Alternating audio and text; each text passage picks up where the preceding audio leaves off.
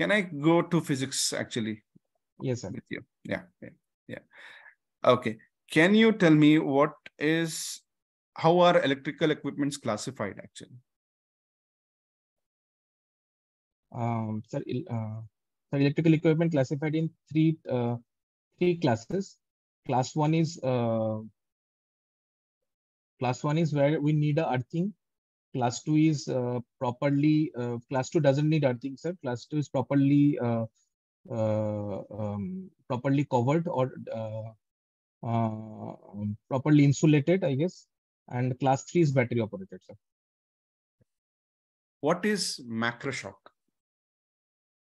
So macro shock is the normal uh, when we touch some live wire or uh, uh, come in contact with some uh, electricity, then then macro shock when the current passes through our body.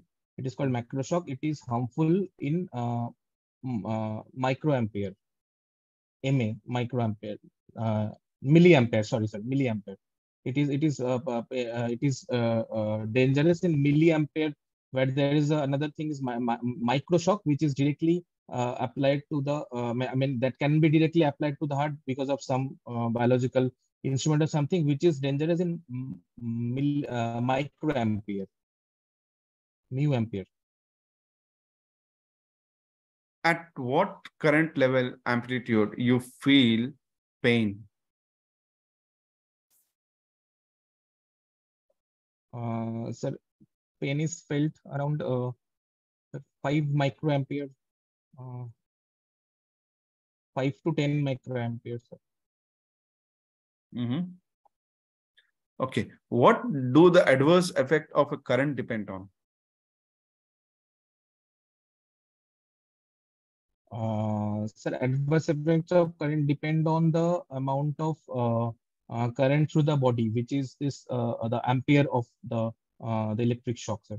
Uh, I mean, uh, the amount of current is passing through the body, uh, which is uh, classified in, in amperes. Sir. Any other thing? so when we when we calculate it like uh, uh, if the resistance is high uh, um, the, the the the the calculation is the theory is V is equal to I into R. So V is equal to the potential difference is V and uh, uh, I is the uh, current and R is the resistance. Sir. So um, if the R is too high, sir, the and and it, the current basic becomes V by R. So the V is equal to I into R. I can like if I show you, sir. So I is equal to V by R. So if the R is becomes very high, Mm-hmm. So if the r is becomes very high, sir, so then the uh, the resistance becomes very high, so the uh, amount of current becomes less. Like uh, for for example, if we uh, wear a, uh, uh, a rubber sa sandal in the OT or some insulation between us, the resistance becomes very high. So the same amount of current, if we go through, if uh, uh, if passes through our body, then the amount of current becomes less, uh, and then the the damage becomes less. Oh can you tell me, just can you just draw a defibrillator circuit? Um,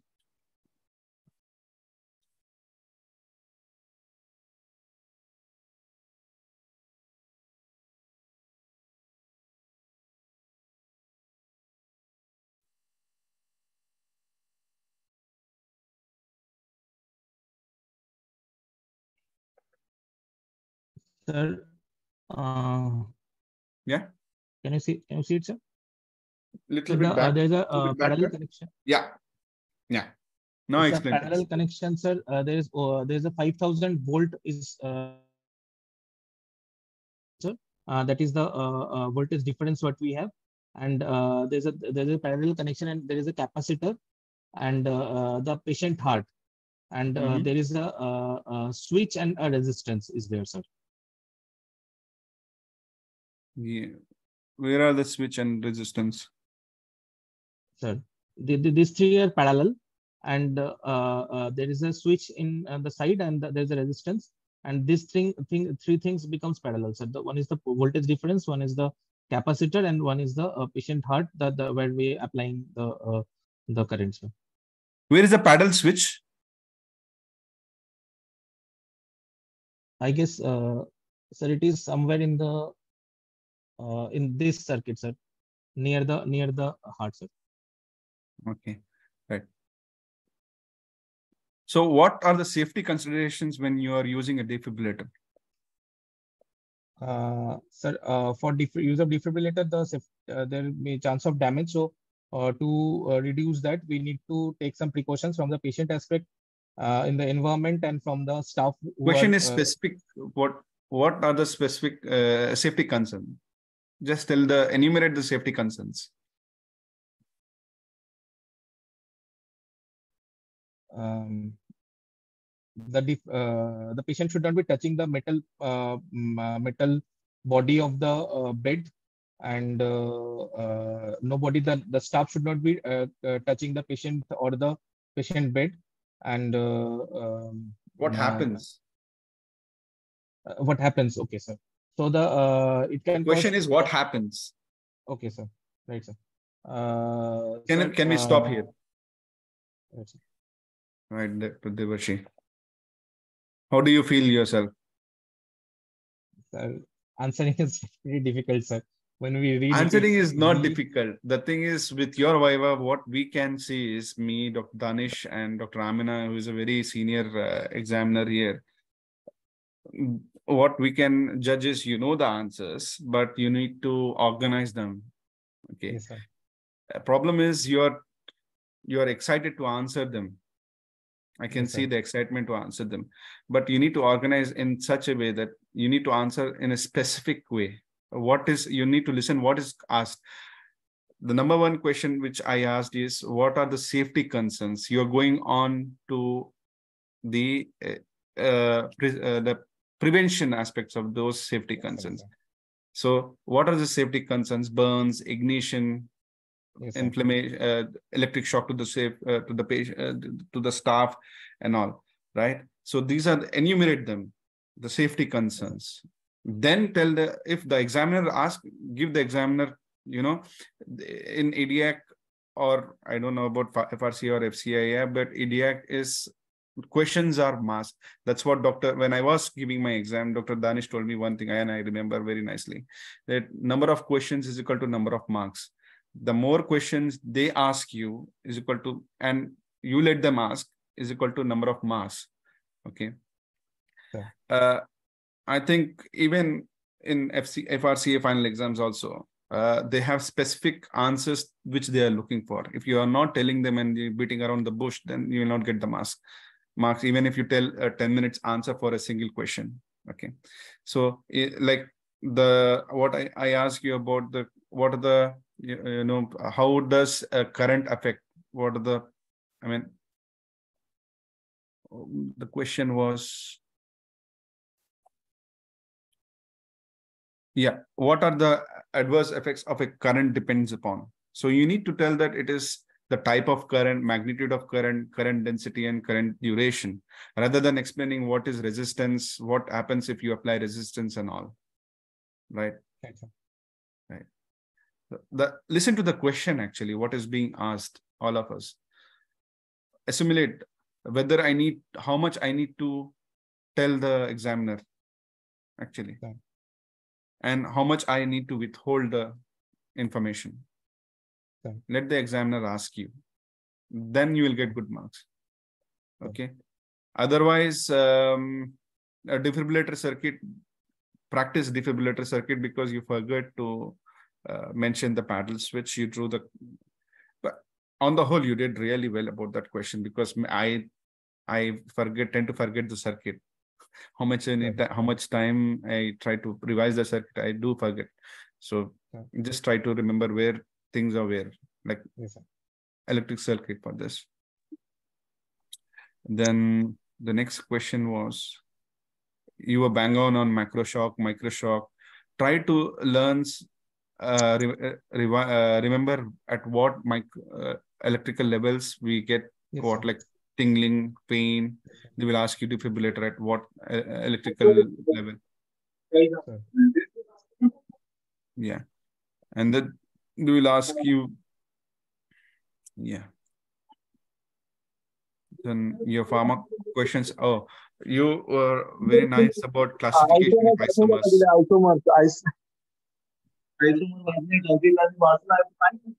Dr. Pankaj, hi. I think Dr. Pankaj needs to mute himself.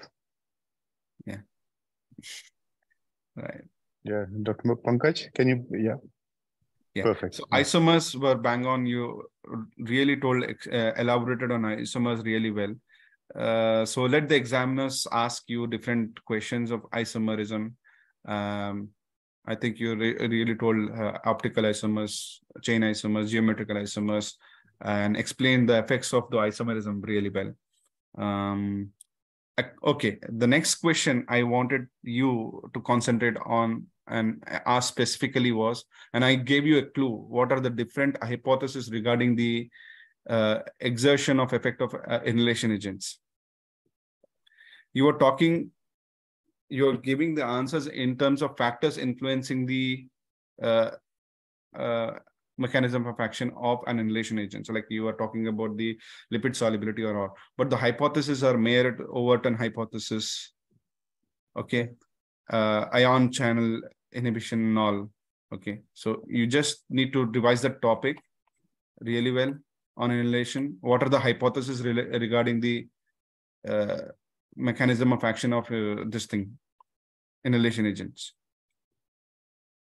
okay Meyer Overton hypothesis membrane receptor hypothesis what is multi-site hypothesis okay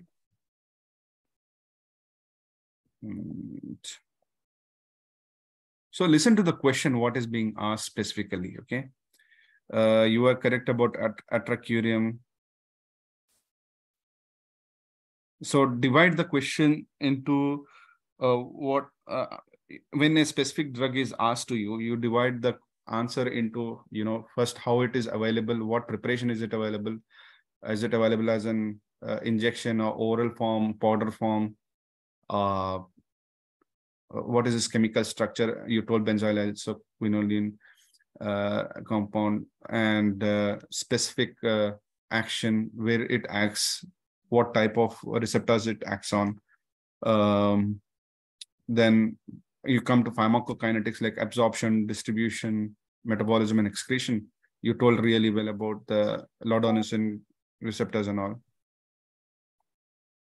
Okay. Uh, right anything else That's all. Sir, sorry, uh, what are the other hypotheses, sir, except this Meyer Overton, sir? Actually, I um, uh, uh, Meyer read this, sir. Overton hypothe- hypothesis and uh, you know membrane pro- uh, protein receptor hypothesis where binding sites for anesthetic agents on transmember Okay, uh, there specific my binding sites are there transmembrane Right, proteins sir. Sir. Mostly these two, sir. Yeah and then there is multi-site hypothesis Multi-site. whether some some inhalation agents exert their effect by higher central agents uh, uh, okay Right, sir. yeah Sure. dr danish can i Yeah, Dr. Anwar, thank you so Yeah, much, I'm uh, also- Dr. Anwar. Thank you, sir. Yeah, I know. sorry Uh, you're, you're about to start your work as well. And my my work also i need to go right yeah, no, Thank thank, you you so much. And uh, uh, you please carry on. And uh, Dr. Devashi, I think for a first fiver, I, I think